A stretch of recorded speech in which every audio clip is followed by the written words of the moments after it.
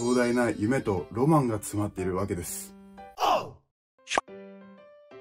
今までの回答や、まあ、これから回答していくことに関してなんですけど、まあ、全てね、もう僕の個人的な見解であって、まあ、ただの意見だったり、しょうもない考えなので、これが正解だーって言ってるわけではないので、まあ、そこら辺はね、よろしくお願いしますと。僕の考えをね、まあ、ズバリ言うと、マシンもバーベルもどっちも効くけど、優先順位が圧倒的にバーベルの方が高いよって思っています。もともと筋肉が増える原理っていうのは、筋肉に今までにない未知の刺激を与えて、脳がね、脳みそがこのままじゃ死んじゃうかもしれないって、もっと筋肉を増やさなきゃっていうね、ふうに錯覚して、まあ、脳から筋肉側に信号を出すことが、まあ、筋肥大のきっかけなんですよね。マシンはうまく動作を行えば、確かに筋肉にね、的確に刺激を与えることができるんですけど、椅子や背もたれだったり、あとケーブルに重りが繋がった状態、そういう守られた状態、環境の中で脳がね、生命の危機感を無意識に感じ取るほどの刺激っていうのはね、まあ、得られるのかなって思ってるんですよね。この意見を、まあ、筋トレを、まあ、人に教えるのが仕事のトレーナーさんや、常にね、まあ、筋トレとか筋肉に関して研究をしてる、まあ、学者さんに言うとね、意見の衝突が起こって、ビッグバンが発生する気がするので、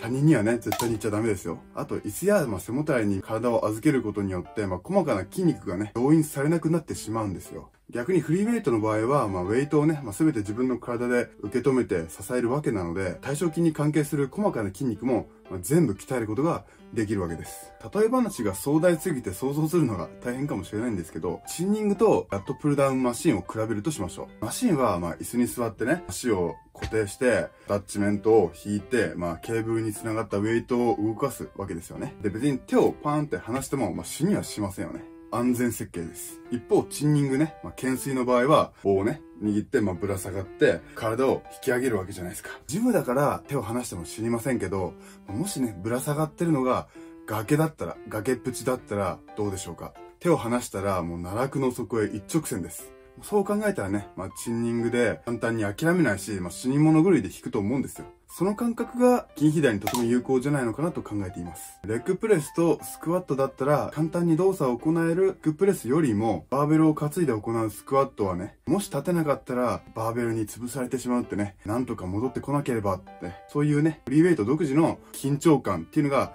僕大事だと思っています。多くの人は気づいてないんですよ。シンプルなバーベルやプレートにね、壮大な夢とロマンが詰まっているわけです。うん。